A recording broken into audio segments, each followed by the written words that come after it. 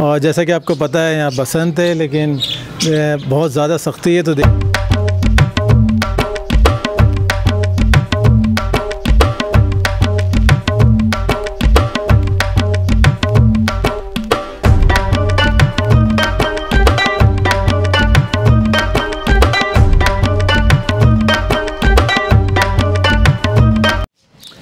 असलकुम इस वक्त मैं मौजूद हूँ सियालकोट शहर में और जैसा कि आपको पता है, यहाँ बसंत है, लेकिन बहुत ज़्यादा सख्ती है तो देखते हैं आज किस तरह बसंत मनाई जाएगी।